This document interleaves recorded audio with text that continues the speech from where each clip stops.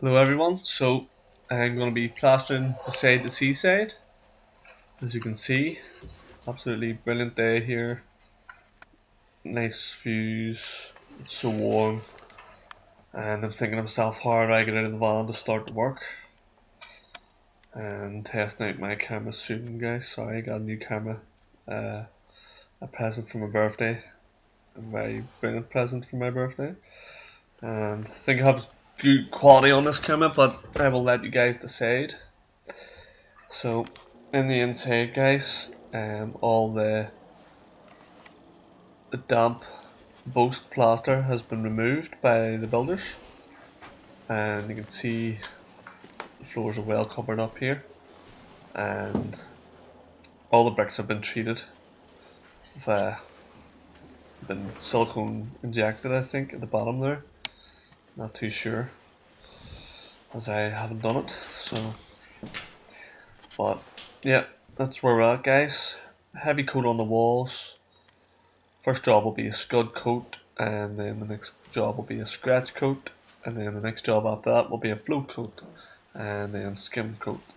But I'll show you it as I go through the stages.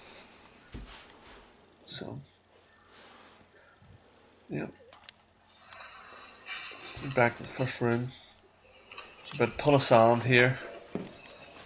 It should do should do it. It's hard to get started with this view outside, but I'm all prepped. Um, so needed water guys. No outside water tap.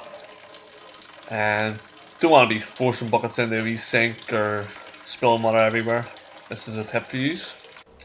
So this is it all scratched guys. Scudded and scratched, sorry. Um, still needs another coat to bring it out nice and flush and level.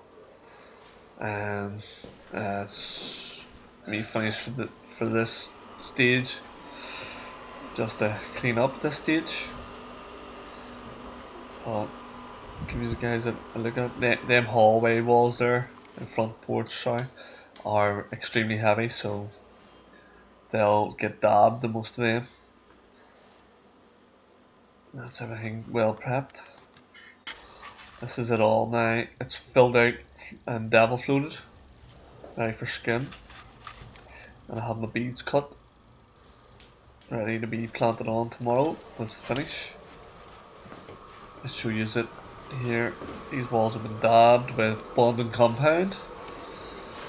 As bonding compound is better for damp issues. You don't want to be using just bonding, you want bonding compound. And as you notice there, I also lifted the sheets up off the ground about half inch just to stop any moisture migrating up, soaking into the plasterboard. And you can see the marks from the float. And the beads at the ready for the next morning.